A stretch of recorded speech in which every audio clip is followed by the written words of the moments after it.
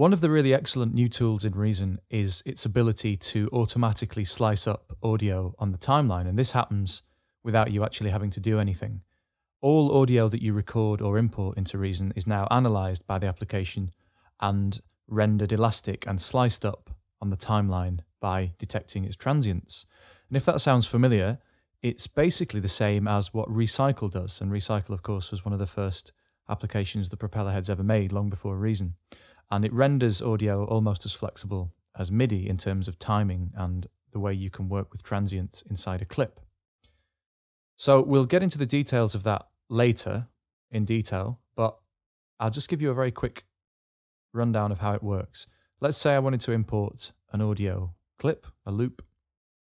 I can go up to import audio file. I've got some WAVs here. I'm just going to import this. There it goes. Now you can see it's slightly too long. Uh, it's in the wrong timing for our project. And you have for a while been able to hold down the Alt key and just snap that loop to the correct bar length. So that's uh, that's the same as it always was. If I play it back, I'm going to turn it down a bit as well. You can see up here you have new volume controls directly in the rack, which is really handy. You don't have to go to the mixer anymore to change that.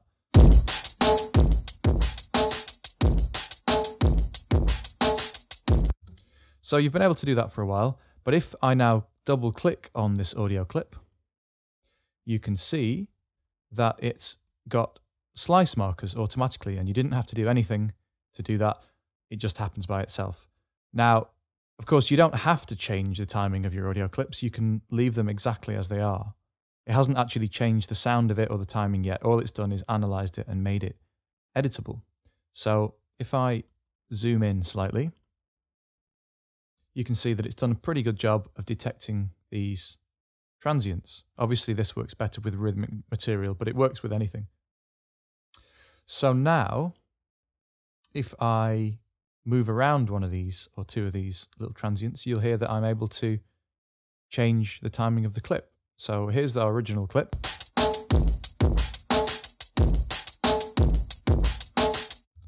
Okay, so I could uh, move this around, let's say.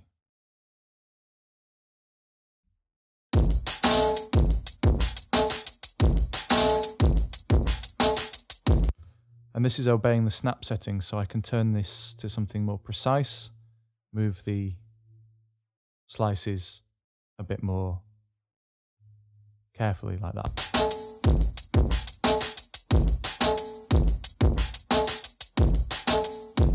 So I've completely changed the feel of that loop, but I haven't had to export that clip and I haven't had to load it into some other wave editor or mess about with it.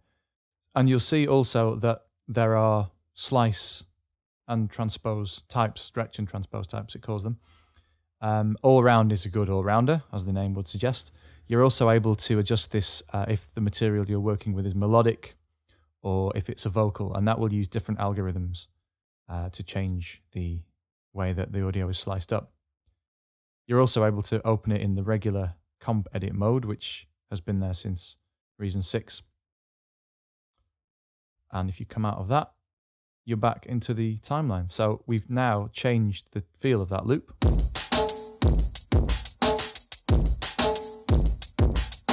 Very, very easily.